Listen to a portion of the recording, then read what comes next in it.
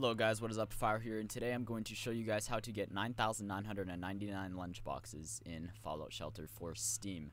Now, Genie has a tutorial for the Windows 10 version, or the Play Store, and here is the file that you're going to need to download. There will be a link for that in the description. I'll also have a link to Genie's video for the Windows 10 version.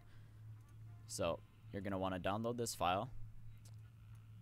Once you have that, make sure you have your Fallout Shelter. So let's pretend this is my save, my good save that I'm doing legit, and I've got a bunch of stuff on it. I don't actually because I haven't started playing it on Steam yet, but you're going to want to create a new vault because you don't want to oversave your original vault. It will delete all of your progress. So create a new vault.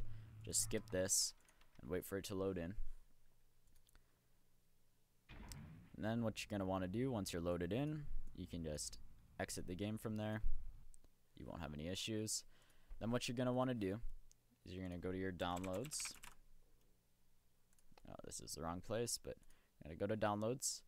Then what you're going to do, you're going to type in percent app data percent. This is for Windows 10. If you have Windows 7, you can go run. Then you can type in percent app data percent, and it will open up the same folder. What you're going to want to do is click on app data right up here at the top, and then go to local. You're going to scroll until you find Fallout Shelter. That is the wrong thing. It just switched. Okay. You're going to want to find Fallout Shelter. And what you're going to do is you're going to find vault2.sav. You're going to delete the vault2.sav that is in there. And you're going to drag this one in there. Then you're just going to oh, launch your Fallout Shelter again. And I'll wait for it to load up. Once you're in your Fallout, which is still loading,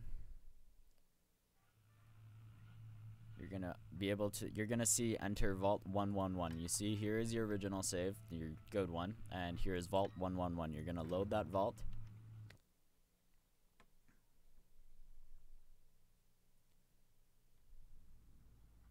And here you are. You're gonna have 9,999 lunch boxes let's get rid of this now this is what it's going to look like for everyone. This is just how the file is saved. So if you have a good save, do not overwrite it. At, no matter what you do, it will delete your progress. But as you can see, these lunch boxes are completely legit. You can open as many as you want.